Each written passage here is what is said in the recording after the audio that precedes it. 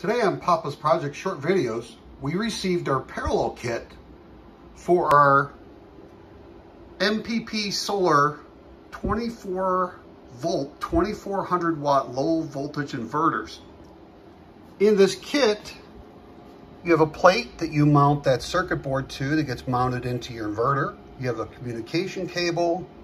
You have your current cable and your instructions on how to hook it up pretty easy to do. Just follow the instructions.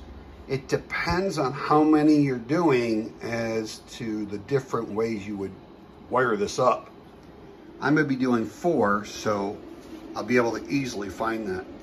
Now on this, when I wired this, that red cable is the current cable and the black cable is the communication cable and then the gray cable is my AC voltage in and out.